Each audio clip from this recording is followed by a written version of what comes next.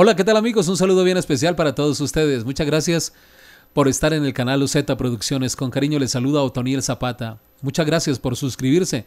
No olvide darle la alerta de la campanita para nuestras novedades en el canal. Les estoy ofreciendo reflexiones del libro Oasis de Gonzalo Gallo González. Bienvenidos. Persona sincera. En la antigüedad, Roma se impuso la moda de adornar la casa con estatuas de bronce, tanto que el metal escaseó. Los escultores optaron por mezclar metales y engañar a los compradores. En la fundición, las estatuas quedaban con desperfectos y porosidades por no ser de puro bronce. Resolvieron rellenar las grietas con cera. Las esculturas quedaban lisas y brillantes. Pero con el caluroso verano llegó la hora de la verdad la cera se derritió y los romanos descubrieron estatuas sin cera y con cera. Ahí nació la palabra sinceridad. Estatua sincera era la auténtica, sin engaños ni apariencias. La sinceridad es un ingrediente del amor. Con engaños una relación tiene bases de arena. Se puede presagiar el derrumbe.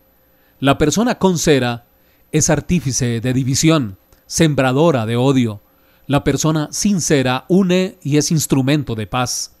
La sinceridad y la libertad caminan juntas. Ya lo decía Jesús, la verdad os hará libres. Amar es perdonar. Hace pocos años, María Fida Moro fue a la cárcel de Revivia, en Roma, y dio un abrazo de perdón a los asesinos de su padre, Aldo Moro.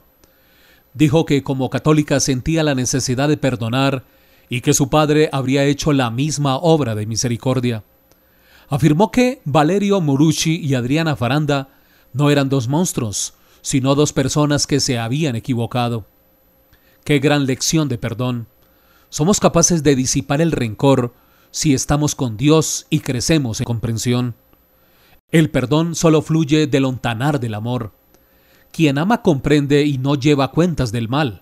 El rencor nos ancla en un pasado infeliz y se sabe que puede provocar trastornos digestivos, respiratorios e hipertensión.